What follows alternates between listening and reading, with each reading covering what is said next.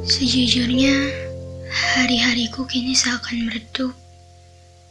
Warna langit biru itu tidak sanggup mencerahkan pikiranku. Seperti malam saja setiap harinya. Bedanya, ini tanpa bulan ataupun bintang. Semuanya meredup.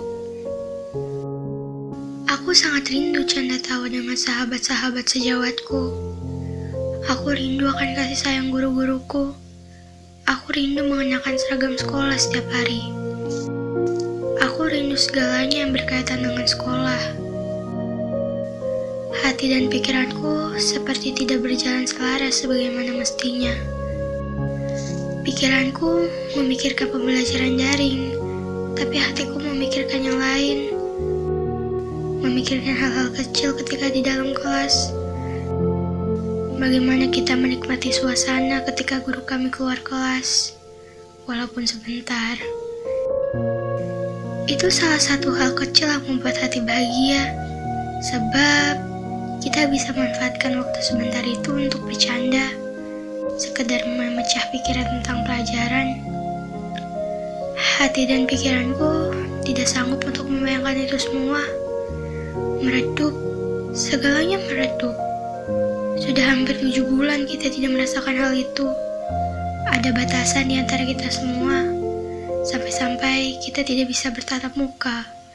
Meskipun hanya untuk melepas rindu, sekadar menyapa secara langsung, itu tidak bisa kita lakukan. Aku begitu rindu dengan senyuman dan tawa semua sahabat-sahabatku.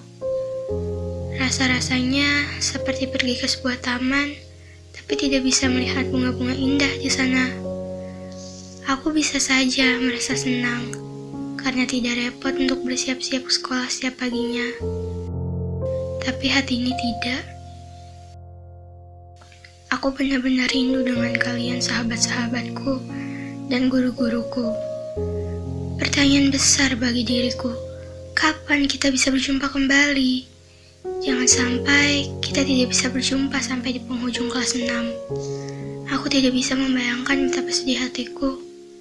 Tidak ada perayaan kelulusan, tidak ada kata pamitan, apalagi ucapan. Dunia ini sedang tidak baik-baik saja, sahabat. Begitupun hati ini. Aku berharap kamu dan kita semua tidak pernah putus untuk berdoa. Semoga musibah ini segera berakhir. Kakinya sudah begitu rindu melangkah di lorong-lorong sekolah. Terakhir, aku berdoa semoga kita semua selalu diberikan kesehatan. Aku pun berharap secepatnya hati dan pikiran ini sudah tidak lagi meredup. Semoga semuanya segera terang benderang dan kita bisa berjumpa kembali. Seperti sedia kala.